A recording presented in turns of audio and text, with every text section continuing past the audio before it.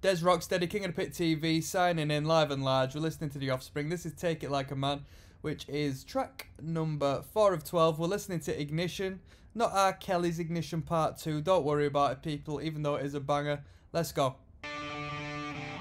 Take It Like a Man.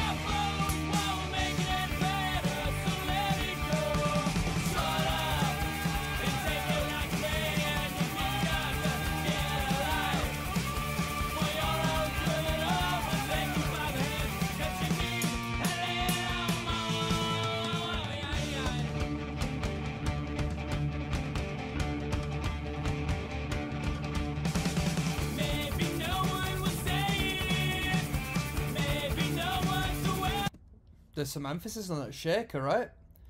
How thick does that shaker sound sound?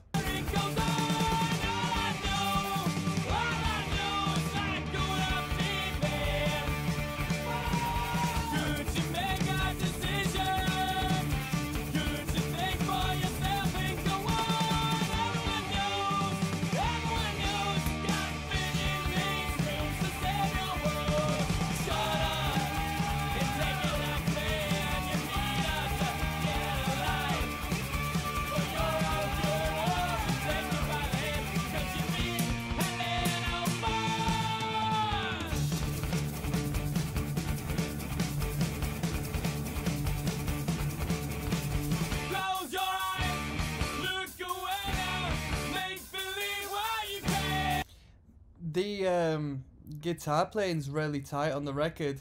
Dun, da da dun. Almost sounds as if the sound engineers like clipped it off, because it's so emphasized the way that guitar cuts out. If you listen to it,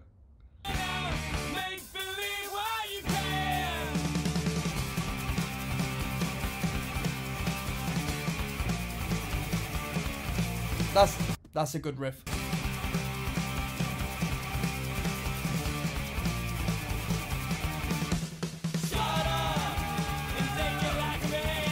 There's there's some metal in this tune, right? Some metal here.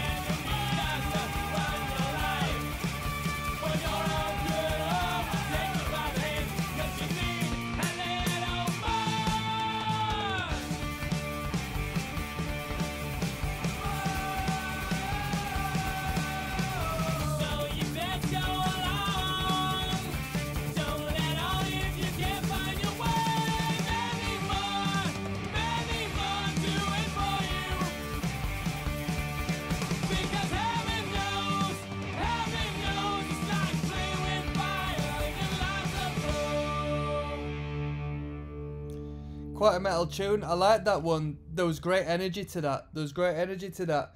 I think um, the shaker sounded good, but it was a little bit debatable in regards to how the um, how it changed the energy and vibe of the track. You know, you know.